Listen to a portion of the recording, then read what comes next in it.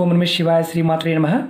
మిత్రులకి శ్రేభిలాషులకి అలాగే నన్ను ఇంతగా ఆదరిస్తున్న యూట్యూబ్ ప్రేక్షకులందరికీ కూడా పేరు పేరు ధన్యవాదాలు. మిత్రులరా మీ అందరికీ పరాదేవత ఎల్లవెల్లలా మీతో ఉండి మీ మనోవాంఛ నెరవేర్చాలని మనస్ఫూర్తిగా కోరుకుంటున్నాను. ఈరోజు మనం పండగ రోజు రేపు మీరు స్నానం చేసే సమయంలో ఉదయం కానీ సాయంత్రం కానీ ఈ పదార్థాలు కలుపుకొని స్నానం చేస్తే మీకు అదృష్టం వెంటాడుతుంది. మీకు పూర్వకర్మల్లో ఉన్న శాపాలు పాపాలు వాటి నుంచి వచ్చే ప్రమాదాలు ఏదైతే ఉంటాయో అవి తొలగిపోతాయి. అమ్మవారి యొక్క అనుగ్రహంతో డబ్బు ఇబ్బడిముడిగా వస్తుంది. రేపు విశేషమైన శక్తి కలిగి ఉంటుంది. మామూలుగా స్నానం చేస్తూ ఉంటాం.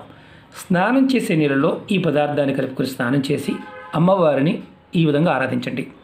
ఖచ్చితమైన మార్పు వస్తుంది. ఆ పదార్థం ఏంటి? ఎలా చేయాలి? ఏ విధంగా చేయాలి చెప్తాను. ఆ విధంగా చేయండి. అలాగే మీకు ఈ వీడియో నచ్చినట్లయితే లైక్ చేయండి ఛానల్ని సబ్స్క్రైబ్ చేసుకోండి పక్కనే ఉన్న గంట సింబల్ యాక్టివేట్ చేసుకోండి పది మంది మిత్రులకి షేర్ చేయండి. మీరు ఉదయం లేచిన తర్వాత మీరు స్నానం చేసే ముందు గుర్తుంచుకోవాల్సిన విషయం ఏంటంటే మీ శరీరానికి సంబంధించిన అంటే మీ శరీరం మీద ఏదైనా పూర్వకర్మ పీడలు ఉన్నప్పుడు ఎప్పుడూ మానసిక అశాంతి ఆవేదన ఏడుపు. అంటే ఒక రకంగా చెప్పాలంటే మనం ఎదుటి వారిని చూసినా సరే మనకి బాధే. మన ఎవరన్నా మన ఏదైనా అడిగినా మనకి బాధే. అలా ఉన్నా అలాగే కలిసి రావడం లేదు. మా కుటుంబం మొత్తం కూడా మమ్మల్ని అంటే మీ కుటుంబంలో ఉన్న సభ్యులందరూ కూడా ఎప్పుడు ఏదో ఒకటి అంటూ ఉన్నా మీరు ఖచ్చితంగా మీ శరీరం మీద పూర్వ పీడల యొక్క ప్రభావం ఉంది అర్థం. పండగ రోజున మీరు చేయవలసింది ఏంటంటే స్నానం చేసే నీళ్ళల్లో మళ్ళీ చెప్తున్నాను స్నానం చేసే నీళ్ళల్లో మంచి గంధం. చూడండి. మన గంధ పొడి ఉంటుంది. మంచి గంధం మంచి సువాసన ఉంటుంది. మంచి గంధం ఒక చిటికెడు కొద్దిగా. అలాగే పచ్చకర్పూరం కొద్దిగా పచ్చకర్పూరం పౌడర్ చేసుకొని ఇలా చూడండి చూపిస్తాను. ఇలా పౌడర్ చేసుకొని నీళ్ళలో వేసుకోండి. అలాగే దానితో పాటు గంగాజలం. మనకి పూజా వస్తువులు అమ్మే షాపులో దొరుకుతుంది. ఈ రోజుల్లో అందరి ఇళ్ళలోనూ ఉంటుంది గంగాజలం. గంగాజలాన్ని ఒక్క మూత గంగాజలాన్ని నీళ్ళలో వేసుకోండి. బకెట్ నీళ్ళలో వేసుకోండి.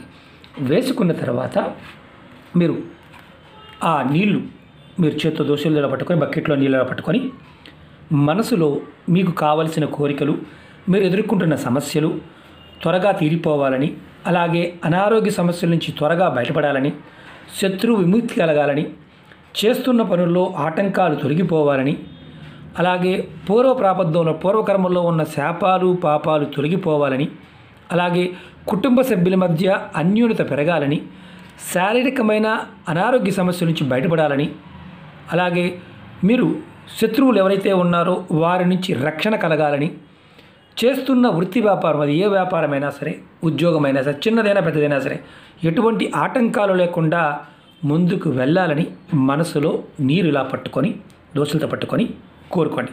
కోరుకొని ఆ నీటిని బకెట్లోనే వదిలేయండి. తర్వాత మీరు స్నానం చేయండి. మీకు అమ్మవారి యొక్క అనుగ్రహం బ్రహ్మాండంగా కలుగుతుంది. ఏదైతే ఇబ్బందులు ఉన్నాయో ఆ ఇబ్బందుల నుంచి బయటపడతారు. ముఖ్యంగా స్నానం అయిపోయిన తర్వాత మీ పూజా మందిరంలో అమ్మవారి దగ్గరికి వెళ్ళి ఎర్రటి పువ్వులు అంటే మీకు మందార పువ్వులు దొరికితే ఎర్రటి మందారాలు కానీ లేదంటే గులాబీలు కానీ ఏదైనా సరే ఒకవేళ దొరికినా దొరకకపోయినా పర్వాలేదు. మీరు పువ్వులు పెట్టండి. అలాగే అమ్మవారికి నేతితో దీపం వెలిగించండి. నెయ్యి వేసి అంటే ఆవు నెయ్యితో దీపం వెలిగించండి. దీపం వెలిగించి దీపానికి గంధంతో బొట్టు పెట్టండి. బొట్టు పెట్టి మీ మనసులో ఉన్న కోరికలు అమ్మకి దీపలక్ష్మి స్వరూపంగా భావించి దుర్గాదేవికి మనస్ఫూర్తిగా మీ కోరిక చెప్పుకోండి. తర్వాత ఈ మంత్రాన్ని చిన్న మంత్రాన్ని మనసులో నూట ఎనిమిది సార్లు అనుకోండి. కోరికలు చెప్పుకున్న తర్వాత ఓం దుమ్ దుర్గాయ నమ. ఓం దుమ్ దుర్గాయ నమ. ఈ మంత్రాన్ని నూట ఎనిమిది సార్లు మనసులో అనుకోండి. ఇది రేపు ఉదయం తెల్లవారుజాము నాలుగు గంటల దగ్గర నుంచి మీరు రాత్రి పడుకునే లోపు స్నానం చేసినప్పుడు ఈ చిన్న పరిహారం చేయండి.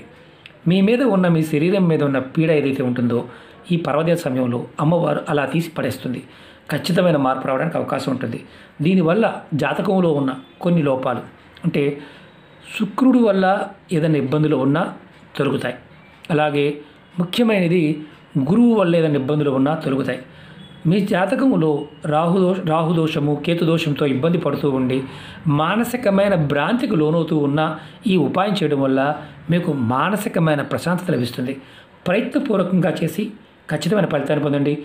పరాదేవత యొక్క అమ్మవారి యొక్క అనుగ్రహం మీకు ఎల్లవేళలా ఉండాలని మనస్ఫూర్తిగా కోరుకుంటున్నాను.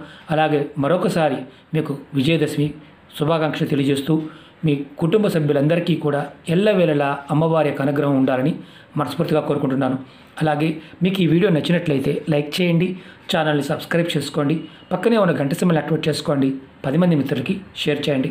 అవకాశం ఉన్నవారు చేయండి అవకాశం లేనివారు ప్రయత్నం చేయమాకండి. ఎందుకంటే ఈ పదార్థాలు కంపల్సరిగా ఈ మూడు పదార్థాలు ఉండాలి.